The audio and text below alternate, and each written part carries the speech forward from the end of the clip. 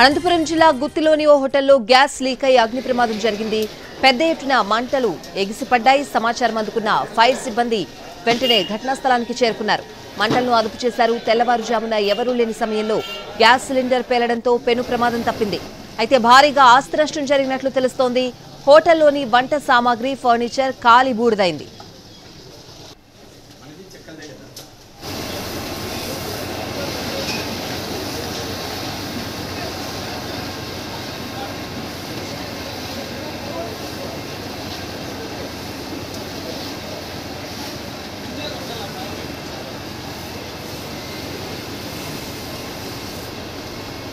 అనంతపురం జిల్లా గుత్తిలోని ఓ హోటల్లో gas leak అయి అగ్ని ప్రమాదం జరిగింది.